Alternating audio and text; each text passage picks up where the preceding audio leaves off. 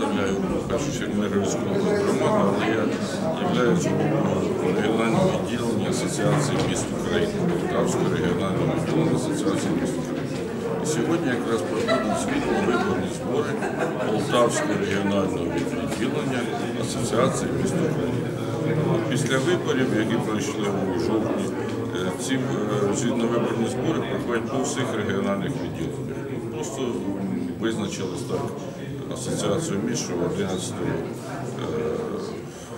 лютого будуть у Полтаві, ми тут збираємо усіх членів регіонального відділення.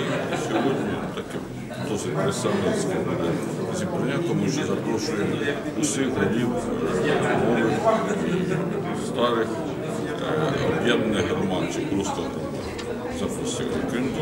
Проводимо в Полтаві, щоб була можливість прийти і народним депутатам, і голові облдержадміністрації, і е, представникам обласної ради буде е, перший заступник.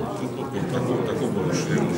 Основна тема це прозвітувати за роботу, про роботу за 5 років і вибрати нов, нового голову і нову, нову виконав- виконавчу саме.